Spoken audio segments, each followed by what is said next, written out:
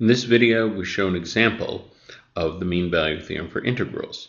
Suppose we have the function f of x equals x squared, and we want to find the c that produces the average value of this function on the interval from 0 to 3.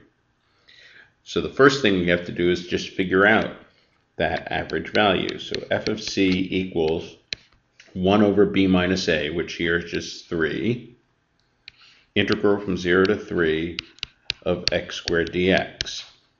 Very simple integral. The antiderivative, of course, is x cubed over 3, and we evaluate at 3 and 0. And then when we plug in and evaluate, we find that this average value is 3. In other words, the average height of this function is a height of 3. And so then the question just becomes, what x produces that? Well, now we have to solve the equation f of x equals 3, x squared equals 3, x equals plus or minus the square root of 3. Well, only one of these is actually in the interval concerned, and that would be positive square root of 3. So c equals the positive square root of 3.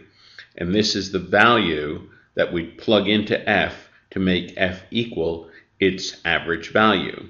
This is interesting because it gives us a method for finding the average value of something that is changing because we have just a list of numbers. We add up the list and divide by the number on the list. That gives us the average of the list. But here, instead of a list, what we have is a function, something continuously changing along an interval. And this gives us a method for finding the average on that interval.